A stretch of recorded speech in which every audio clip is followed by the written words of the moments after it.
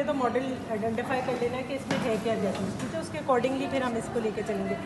This is the anal canal ठीक है?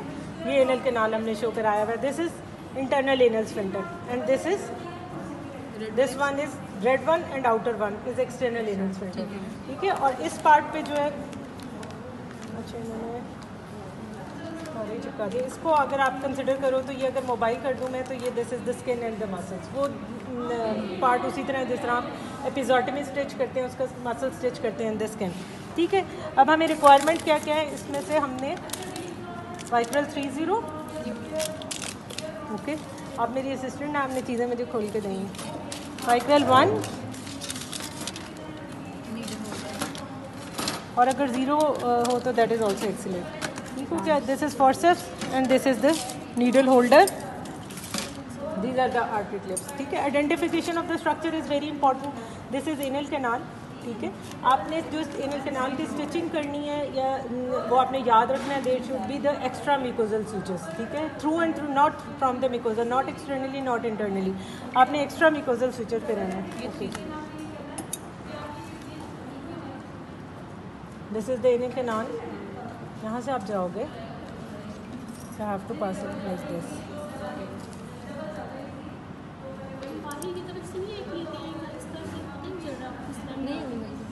This क्या कह रहे हो आप? सॉरी अब रिपेयर पढ़ लें, फिर वो तो आइडेंटिफिकेशन तो और चीज़ आ जाएगी। अच्छा अब आपने this is the internal anal centre ठीक है? मेरे असिस्टेंट ऐसे पकड़ लेगा। नॉर्मली जो है ना it's not very difficult to pull the internal anal centre you have to hold it like this and hold it like this आप इसको आर्टरीज लगा लें ठीक है? ये पकड़ लें आप पकड़ लें। ये भी पकड़ लें। एक्सटर्नल करेंगे? इंटरनल कर रही हूँ ये एक्सटर्नल अच्छा, है वो ये दरमियान का वो जो अच्छा। अब वो मॉडल में ऐसे ही बनना था। ठीक है ठीक आप आप फिंगर हटा लो आपने पकड़ के रखना है। कैसे पक, कैसे लेंगे इसका suture end to end anastomosis करनी है आपने। जैसे आप रिवर्स मेट्रो सूचर लगा रहे होते हैं। अवे फिर। स्किन लेकिन रिवर्स स्विचेस से इंटरप्टेड स्विचर लगा रिवर्स मेट्रो सूचर्स नहीं आप यूज़ कर रहे थे? अवे से। वो जो कन्फ्यूज़न है ना आप लोगों को वो ओवरलैप टाइप में फार फार और ये कट थ्रू हो गया।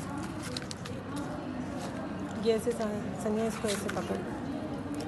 बल्कि आप पकड़।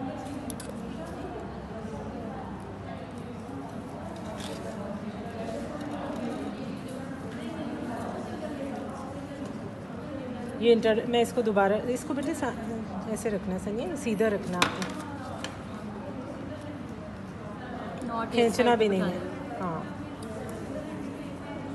इधर वाले असिस्टेंट को ये पकड़ा दे और हुमा आप ये पकड़ो जमुना इधर वाले असिस्टेंट को ये पकड़ा दें। आपको ताकि ये पता चल जाए कि मैंने ओवरलैप जब करना है तो मैंने कैसे स्टिच गुजारना है। इसमें जो कन्फ्यूज़न होती है, जो आप प्रैक्टिकली भी मैंने देखा है, जो गलती कर रहे होते हैं, वो ये होता है कि आप नीचे से ऊपर स्टिच गुजार रहे होते हैं। Always remember it it is from upward to downward direction ठीक है? पहला स्टेज इसमें आपने ट्रिकी लेना। ये जो मेरे लेफ़्ट हैंड में आर्टरी फॉर्सेप्स है है वो राइट साइड का। जैसे आप फॉर्सेप्स अप्लाई करते हैं ना तो आप ऑपोजिट फॉर्सेप ऑपोजिट साइड ठीक है?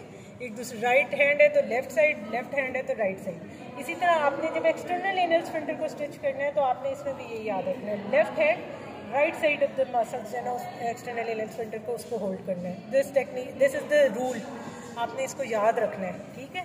कैसे करेंगे? अब ये मेरे असिस्टेंट ने पकड़ना है। ये आप होल्ड करोगे, मैं व्हाट्सएप से हेल्प लूँगी। आपने ओवरलैप ही रखना है इसको, ठीक है?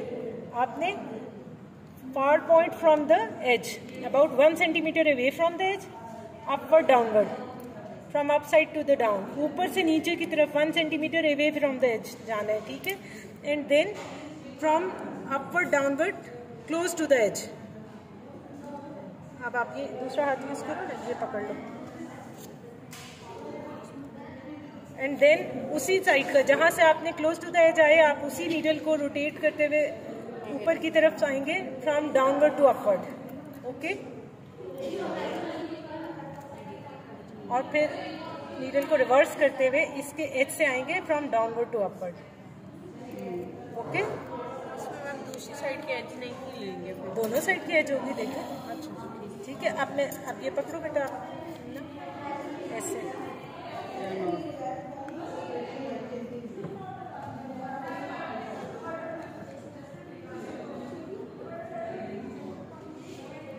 Very gentle because it may not on ये आपका ओवरलैप हो जाएगा। अब आप बेशक ये खोल दो। इसको भी आपने थ्री टू फोर स्टिचेस लगाने पड़ सकते हैं आपको। ठीक है? एक्सटर्नल इनर फ्रंट मैं एक एक लगा हूँ।